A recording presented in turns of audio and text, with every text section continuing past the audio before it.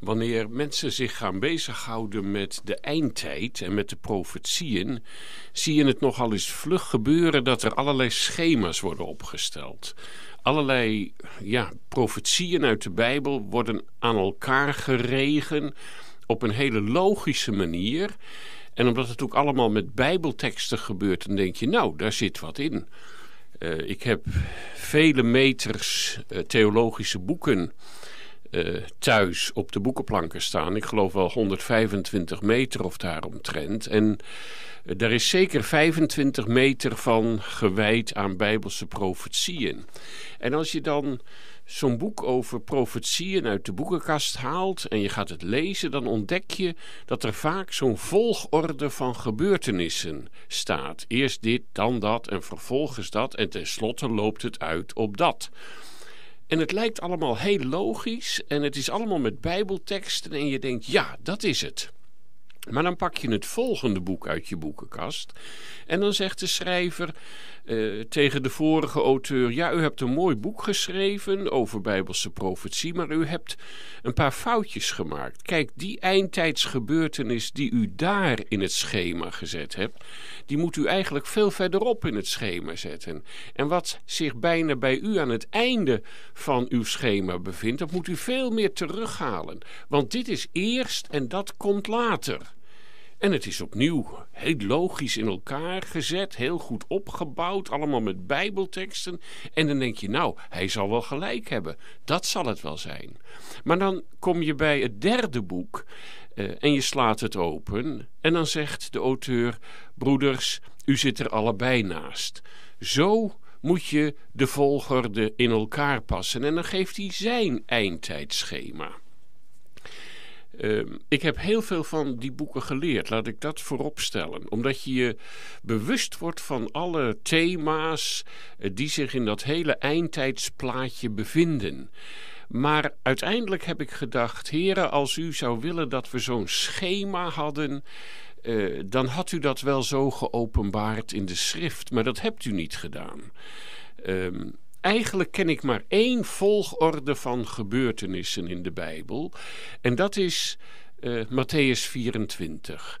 Daar wordt aan de Heer Jezus gevraagd door zijn discipelen: uh, Zeg ons, hoe kunnen we de tekenen der tijden zo verstaan dat we begrijpen dat is het teken van uw komst in heerlijkheid. Nu zijn we er bijna bij uw komst in heerlijkheid. Maar hoe weten we dat? Help ons daar alsjeblieft bij. En dan zegt de Heer Jezus: ga rustig zitten. En dan gaat hij een hele lange redenvoering houden. Uh, een van de langste die we in het Nieuwe Testament van de Heer Jezus hebben. Waarin hij beschrijft allerlei dingen die over de wereld zullen komen. En als je dat goed leest, dan, ja, dan is er zwaar weer op komst. Um, Eerst zegt hij dit en dan dat en dan tenslotte zus en zo. En dan zul je het teken van de Zoon des Mensen zien verschijnen. Dan zal ik komen in heerlijkheid en de heilige engelen met me. Dan zal ik mijn uitverkorenen verzamelen van de einden uh, der aarde. Ik denk dat we de profetieën van de Bijbel, met name ook die van het Oude Testament, haast moeten zien als dia's. Uh, het zijn allemaal heel nauwkeurige plaatjes. Want de Bijbel is een fantastisch boek. Uh, het bestaat voor meer dan een derde uit profetie. En profetie is van tevoren geschreven geschiedenis. Met een heleboel details erin. Niet zomaar vage taal van occultisten die allerlei toekomstvoorspellingen doen. Astrologen en handlijnlezers. Uh, en wat heb je niet allemaal op dat gebied? Nee, bijbelse profetie beschrijft heel nauwkeurig gebeurtenissen die in de toekomst gaan plaatsvinden en verbindt er vaak ook een, ja, een oproep tot bekering aan. Die Bijbelse profetie trouwens heeft, zou je haast kunnen zeggen, meerdere vervullingen.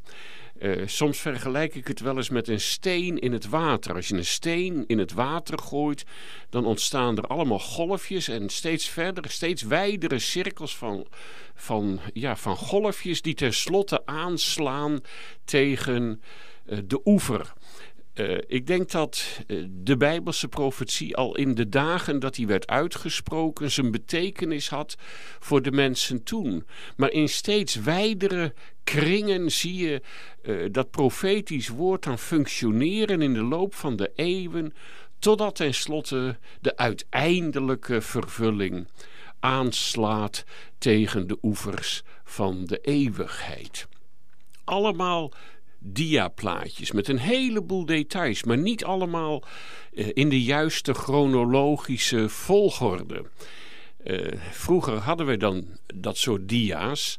En dan ging je op vakantie en dan nam je de eerste dia. Je had niet uh, die prachtige digitale camera's die je tegenwoordig hebt. Nee, dia's. dia 1, vader pakt de auto voor de vakantie. Dia 2, de uh, buren wuiven ons vaarwel. Dia 3. Uh, vader probeert zijn tent op te zetten op de camping in Frankrijk. En ga zo maar door. En dan de laatste dia. Uh, we komen weer thuis. en de buren zeggen fijn dat jullie er weer zijn. En dan laat je die diafilmpjes ontwikkelen. En dan in die raampjes wordt dat gezet. En dan kun je dat allemaal keurig op volgorde in een diadoos zetten. En op een gegeven moment nodig je je buren uit voor uh, een avondje om jouw dia's uh, te komen bekijken. Maar het kan gebeuren dat als je kinderen hebt, dat je op een dag thuis komt en dat je al je diadozen ja, op de vloer vindt van de kamer. Ze zijn uit de kast gehaald, ze zijn geopend. Uh, de dia's zijn eruit gehaald. Uh, een grote berg dia's. En misschien een van je kinderen die daar zit en met zijn vingertje op een dia wijst en zegt: Kijk, papa, dat ben ik, dat ben ik. Nou, als dat gebeurt, als zo die dia's op een grote hoop belanden, dan is het onmogelijk om die dia's weer in de juiste chronologische volgorde terug te plaatsen in de diadoos. Ja, het is eigenlijk zelfs onmogelijk om de juiste doos te vinden waarin ze thuis horen. Dus uiteindelijk zet je ze maar allemaal willekeurig op een rij en kijkt er voorlopig niet meer naar. Wel nu, zo is de Bijbelse profetie. Eh, de schrift bevat een enorme hoeveelheid van die profetische plaatjes. Uh, met een heleboel details. Want zo'n dia is echt een fotootje van een bepaalde situatie. Uh, waarin een heleboel details ook zichtbaar zijn. Hè. De auto op de camping, dan zie je in de achtergrond zie je wat struiken. Dan zie je nog een halve auto van de buurman ernaast. Uh, en je ziet hoe een van de uh, tafeltjes al uitgeklapt is van de keuken. zie je de gasfles staan enzovoort. Allemaal details. Um, maar die plaatjes bevinden zich in de Bijbel niet op de juiste chronologische volgorde. En dat heeft ook een bedoeling. Dat betekent dat we ook niet op die schema's moeten gaan vertrouwen, maar dat we ja, terug moeten keren naar de schrift zelf. De hele Bijbel uh, nederig lezend, biddend om de verlichting door de Heilige Geest, dat die ons laat zien welk plaatje op dit moment aan de orde is van al die profetische plaatjes die je in de Bijbel aantreft. Het kan zelfs zijn dat die schema's je werkelijk beletten om te zien wat er vandaag de dag uh, aan de orde is. Je leest bijvoorbeeld in de krant over de president van Iran. Uh, hoe die uh, probeert uh, een atoombom tot ontwikkeling te brengen. Want daar is iedereen wel van overtuigd. En je hoort hoe die regelmatig in allerlei toespraken zegt dat ja, Israël van de kaart geveegd moet worden. Dat dat ook heilige plicht is. omdat hij vast gelooft dat wanneer dat eenmaal gebeurt, dat dan de grote moslimverlosser uh, op het wereldtoneel zal verschijnen. Die wacht totdat het Joodse vraagstuk is opgelost. Dat wil zeggen, ja, het Joodse probleem uit de weg geruimd is. Dus ja, Israël van de kaart geveegd uh, en de Joden uh, geen factor meer zijn van betekenis. En dan zal de grote moslimverlosser vrede en welvaart over de hele wereld brengen.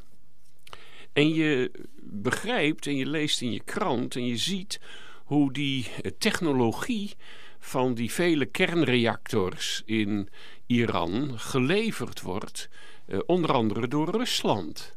Ook Duitsland is daarbij betrokken en andere landen, maar ook Rusland. En dan lees je in je Bijbel uh, in Ezekiel 38 en 39 dat er ooit een grote uitbraak uit het Noorderland zal komen. Gog en Magog, uh, met een schare van bondgenoten om hun heen. En als je dan die oude namen uit die hoofdstukken vergelijkt met de namen van moderne staten daar in het Midden-Oosten. Uh, en je leest hoe die dan onder aanvoering van de vorst uit het Noorderland in één keer plotseling Israël zullen aanvallen. En je denkt, hè, Rusland betrokken daar in dat Midden-Oosten, uh, met Iran met name, zou dat misschien kunnen leiden tot die onverhoedse aanval op Israël met een soort ja, moslimverbond, misschien een, een jihad-achtig motief dat erachter zit. Uh, maar dan kijk je op je eindtijdschema's en dan ontdek je dat ja, je hebt Gog en Magog en Ezekiel 38 en 39 geplaatst aan het einde van de grote verdrukking, of misschien zelfs wel aan het einde van het millennium. En omdat je vast overtuigd bent van de waarheid van je schema, denk je bij jezelf: nee, uh, dat kan er niks mee te maken hebben. Terwijl het heel goed kan zijn dat het profetische diaplaatje van de uitbraak van de vorst van het noorden en een onverhoedse aanval op Israël, waarbij landen in het Midden-Oosten betrokken zijn, best is nu langzaam maar zeker aan de orde begint te komen. En zo belet je schema, hoe logisch het ook in elkaar zit, je te zien wat er werkelijk op dit moment aan de orde is. Wat we dus moeten doen is terugkeren tot de schrift zelf. Heel ootmoedig en vragen om wijsheid. En dan schenkt de Heere dat ook. Want de Bijbel zegt, hij zal geen ding doen of hij openbaart het aan zijn knechten, de profeten. En als je dan ja, op je knieën uh, met je krant naast de Bijbel al die profetieën tot je laat doordringen, uh, dan zal de geest je duidelijk maken uh, wat er aan de orde is en welk diaplaatje nu uh, steeds meer uh, ja, in vervulling zou kunnen gaan. Als je dan die eindtijdschema's eens voor je neemt, dan kom je nogal eens deze volgorde van gebeurtenissen tegen.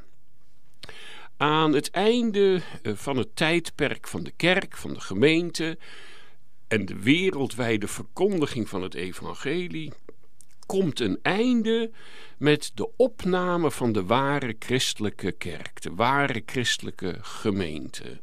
En die verschijnt dan voor de rechterstoel van Christus om loon naar werken te ontvangen. Daar in de hemelse gewesten vindt dan de bruiloft van het lam plaats. Voordat dan zeven jaar later het duizendjarig vrederijk op aarde begint, zegt men, het millennium, uh, op aarde uh, komt uh, met de Christusregering wereldwijd. maar voordat dat komt, is daar eerst de regering van de Antichrist. zeven jaar.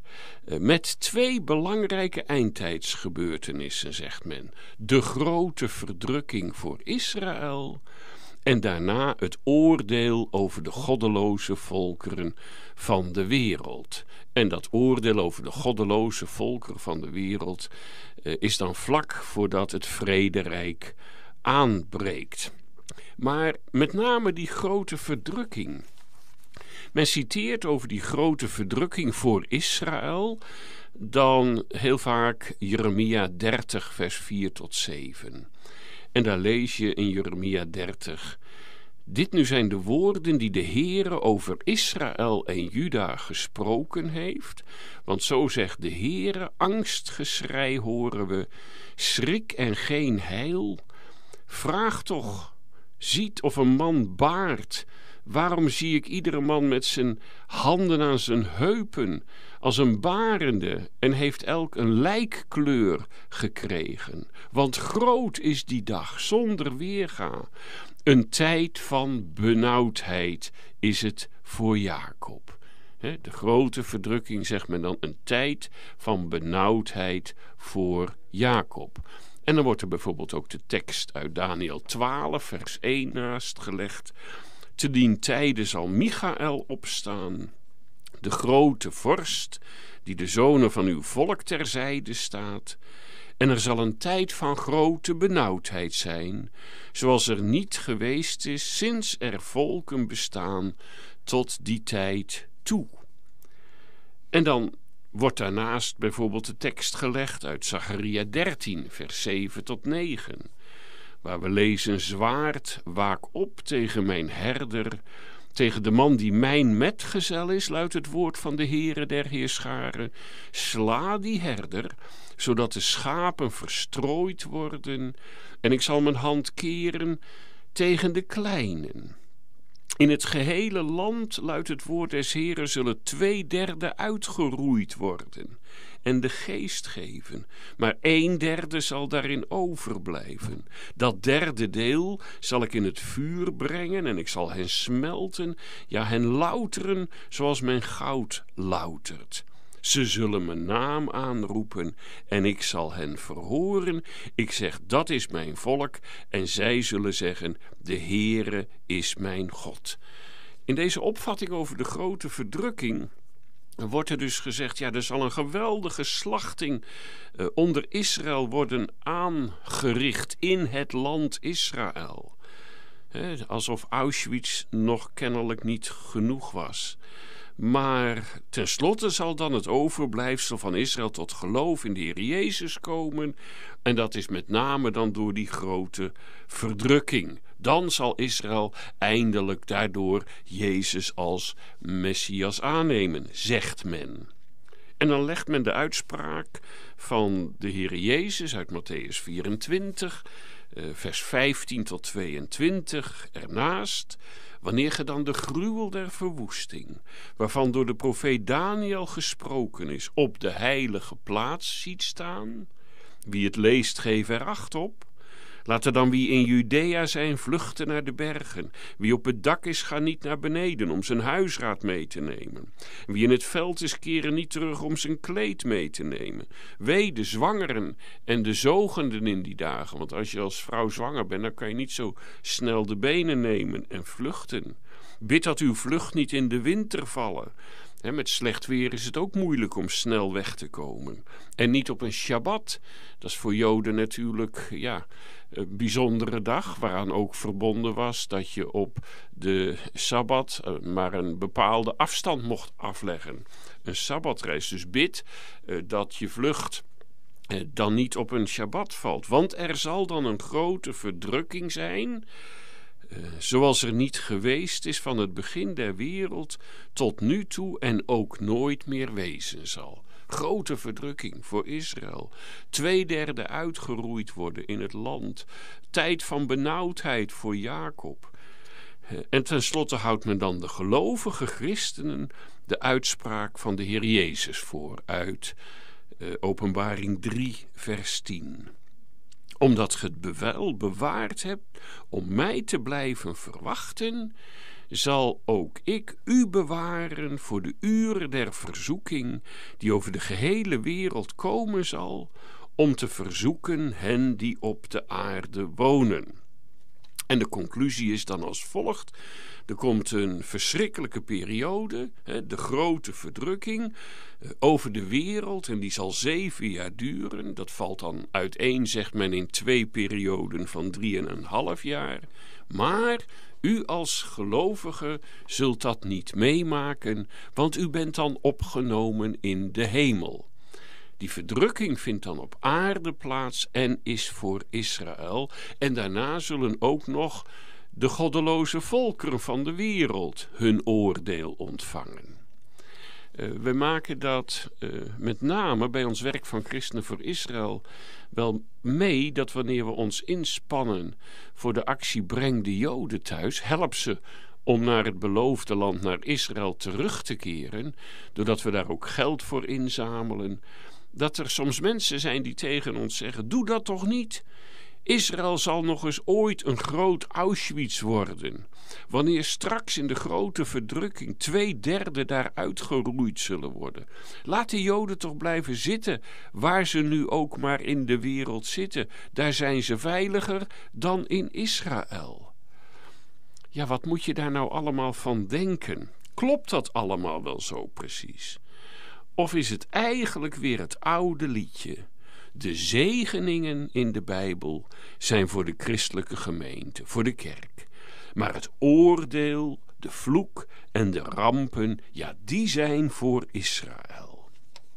Zo heeft de kerk dat eeuwenlang in de vervangingstheologie de mensen voorgehouden. De kerk zei, ja, Israël was het uitverkoren volk van God, eh, totdat ze nee zeiden tegen Jezus. Eh, en toen heeft God nee tegen de Joden gezegd. Toen heeft hij ze in de hele wereld verstrooid. Toen hebben ze vreselijk moeten lijden. Ja, en je kan er medelijden mee hebben. Maar ja, het is oordeel Gods. En het is een waarschuwing voor ons allemaal. Eh, dat gebeurt er met mensen die nee zeggen tegen de Heer en nee tegen zijn gezalfde. Um, en wij, de kerk, zei men in die vervangingstheologie. Wij hebben ja gezegd tegen Jezus. Dus daarom zijn wij nu het nieuwe uitverkoren volk van God. Uh, wij zijn het nieuwe Israël. Wij vervangen Israël als het uitverkoren volk van God. Dat was de leer. Voor Joden was er geen plaats meer, was er geen toekomst meer. Het enige was dat ze zich tot Jezus moesten bekeren en dan werden ze lid van de kerk, dan werden ze christen zoals wij allemaal. En misschien was er dan ook nog ooit hoop op een vervulling van een aantal bijbelse profetieën over een terugkeer naar het beloofde land. Maar ja, dat zouden we dan wel zien. Nee, wij, de kerk, waren het nieuwe Israël. Wij vervingen Israël als het uitverkoren volk van God. En men ging de Bijbel geestelijk lezen. En men zei overal waar je die beloften voor Israël in de Bijbel aantreft, dan moet je lezen, dat is bestemd voor de kerk. En overal waar je de oordelen in de Bijbel aantrof en de rampen en de vloek die soms over Israël kwam, daarvan moest je zeggen: nee, en dat is natuurlijk voor het Joodse volk. En zo ging men de Bijbel ook uh, tussen aanhalingstekens geestelijk lezen. Uh, men zei ja, als je in de Bijbel leest over Jeruzalem, dan gaat het niet over een stad in het Midden-Oosten, dan gaat het over het hemels Jeruzalem. En als er dus gesproken werd van Israël, dan zei de kerk: ja, dat zijn wij. Dat is de gemeente van Jezus Christus. Als er gesproken werd over het beloofde land, dan was dat niet een ja, klein stukje grond daar ergens aan de rand van de Middellandse Zee in het Midden-Oosten. Nee, het beloofde land, dat moest je geestelijk zien. Dat was de hemel. En ja, wij als Israël zijn onderweg vanuit de slavernij van de zonde van Egypte. We hebben een moeizame woestijnreis uh, met allerlei verschrikkingen op onze aardse levenstocht. Maar we zijn op weg naar het beloofde land, naar de hemelse zaligheid. En zo moet je de Bijbel gaan lezen. Zo moet je de Bijbel geestelijk verstaan, zei men.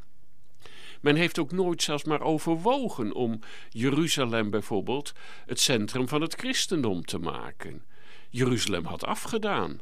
Het centrum van het christendom dat werd Rome voor de kerk van het Westen, of het werd Constantinopel voor de kerk van het Oosten, of het werd Moskou voor de Russische orthodoxie, of het werd Canterbury voor de Anglikanen, of Wittenberg voor de Lutheranen en misschien voor de Wereldraad van Kerken Genève.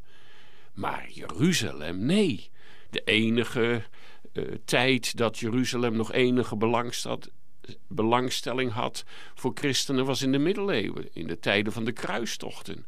Toen men daarheen ging om de heilige plaatsen te bevrijden van de machten van de islam. Uh, daar ging het om. Er zat helemaal geen theologische gedachte achter over Jeruzalem of over Israël of over het Joodse volk. Nee, toen ze in Jeruzalem aankwamen, hebben ze alle Joden, mannen, vrouwen en kinderen in de grote synagoge bijeengedreven. Uh, en ze hebben de synagoge in brand gestoken. Uh, en ze dus allemaal levend verbrand. En ze wandelden om de synagoge heen en zei: eren aan God. Ehm, en de volgende dag vierden ze het heilige avondmaal. Ehm, ze hebben trouwens ook een geweldige slachting uh, onder de moslims aangericht uh, tijdens die kruistochten. Daar zat dus helemaal geen bedoeling achter om Jeruzalem op een of andere manier theologisch een plaats te geven. Nee, het ging alleen om de heilige plaatsen, zodat de pelgrims uh, die daar konden bezoeken en konden zien al die plaatsen waarin de Bijbel over gesproken werd. Nee, Jeruzalem had afgedaan, Israël had afgedaan, het Joodse volk had afgedaan. Wij uh, waren degene uh, die nu het uitverkoren volk waren. Tussen twee haakjes, eigenlijk is de islam de ultieme vervangingstheologie. De islam leert dat misschien ooit wel de Joden het uitverkoren volk van God waren, maar die hebben het verprutst. En toen kwamen de christenen, die waren misschien wel uitverkoren volk van God. Maar die hebben het ook verprutst.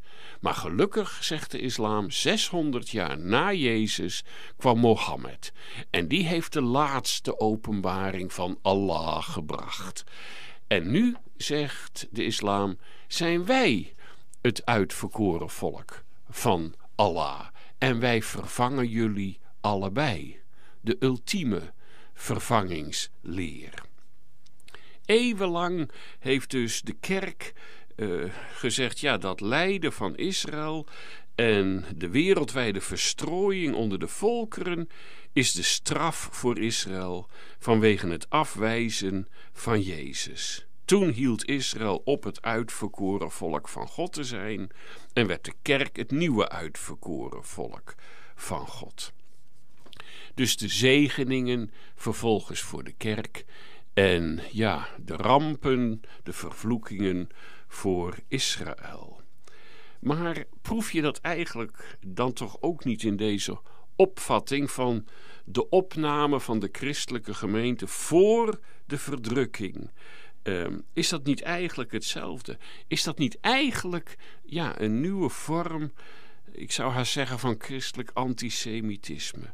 Als het echt erg wordt op aarde onder de antichrist, dan zijn wij als gemeente gelukkig precies op tijd in de hemel opgenomen en dan breekt de grote verdrukking op aarde voor Israël los. En misschien dat ze dan, die ongelovige en ongehoorzame Joden, eindelijk tot geloof in Jezus zullen komen. Luther zei aan het eind van zijn leven eigenlijk precies hetzelfde. Wie niet horen wil, moet voelen. Teleurgesteld dat de Joden door zijn bijbelgetrouwe prediking toch niet tot het geloof in Jezus kwamen, zei hij tenslotte aan het eind van zijn leven als een verbolgen oude man de meest verschrikkelijke dingen over de Joden. Niet goedschiks tot geloof komen, dan maar kwaadschiks. En de nazi's hebben hem graag aangehaald. Toen zij met hun oplossing voor het Joodse probleem aankwamen, de endleuzing door de Holocaust. Totale vernietiging van het volk. Dan zijn we er vanaf. Dan kan de wereld eindelijk eh, vrede en welvaart leren kennen. Maar hoe komt een mens tot geloof? Door verdrukking? Ja, nood kan leren bidden. Maar nood kan ook leren vloeken. Hè? Hoe kan God het toestaan? Ik heb een kind verloren. Mijn vrouw is door kanker overleden. Het is verschrikkelijk. Als er een God in de hemel is, nou, uh, ik geloof er niet meer in. Dus nood uh, kan ook leren vloeken. Nee, tot geloof kom je als je aangeraakt wordt door de liefde van God. Als de genade komt en de Heilige Geest je laat zien hoeveel Hij van je houdt, hoeveel Jezus van je houdt. En dat geldt ook u, ook vandaag nog. Je mag komen en de liefde van de heiland genieten, die ja, de vrede in je hart zal brengen, die je door de verschrikkingen van de eindtijd heen zal voeren, totdat het grote moment aanbreekt, dat je hem zult mogen zien van aangezicht tot aangezicht, om bij hem te zijn tot in alle eeuwigheid.